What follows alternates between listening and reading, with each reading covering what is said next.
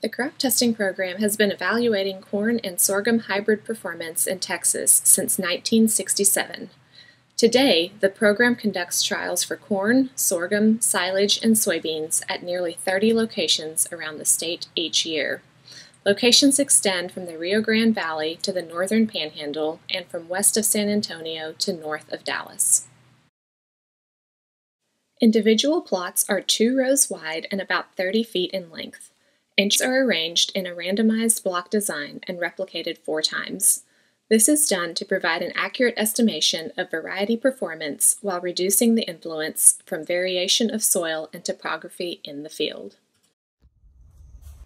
Our program evaluates anywhere from 25 to as many as 50 hybrids from about a dozen seed companies at individual locations each year.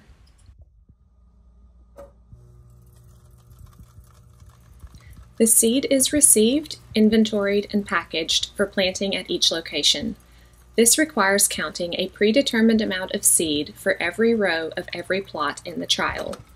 The amount of seed packaged varies by crop and production region based on plant populations common to the production region. Seed is placed in envelopes and arranged in boxes by location and plot order. Locations are then organized and boxed to match the planting sequence in the field. The majority of our trials are planted in farmers' fields. This requires us to load our tractor and planter and travel to the location when the farmer is ready to plant the surrounding field area.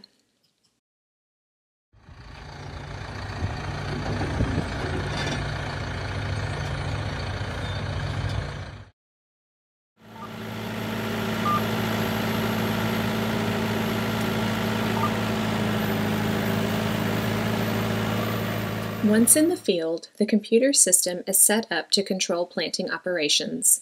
This includes the length of the plot and the alley, as well as the seeding rate.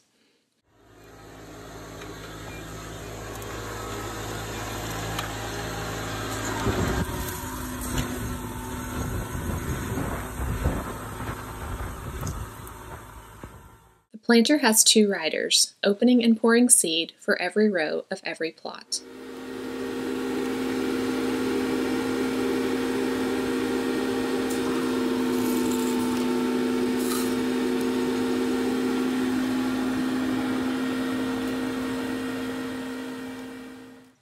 Our planter is a modified vacuum planter with seed plates designed to provide singulation and spacing similar to other commercial planters.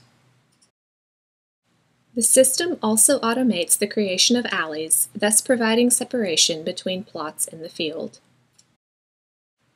After planting, locations are checked several times throughout the season.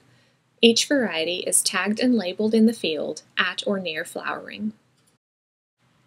We also capture data such as plant population, plant height, flowering date, and other agronomic notes in every plot. As needed, we capture data on insect or disease damage, lodging, and other factors that influence variety performance. When the crop is ready for harvest, we travel back to every location with our combine. For harvesting, we use a modified combine and header with an onboard weighing system. We use the grain gauge system from HarvestMaster to capture grain weight, moisture content, and test weight for every plot. This data is used to calculate moisture-corrected yields. After harvest, Data is statistically analyzed and the reports are generated for every location. Results can be found at our website, varietytesting.tamu.edu. At the website, you will find results for all of the major row crops in Texas. For corn, click on the Corn tab and navigate to the variety trials. Then scroll to the results. Results are typically posted within three weeks after harvest.